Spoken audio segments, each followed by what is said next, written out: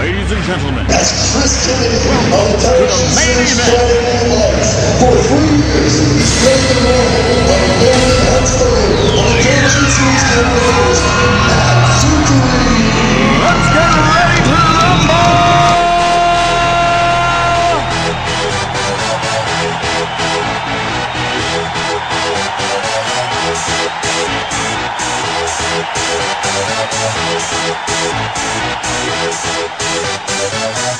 ready for this?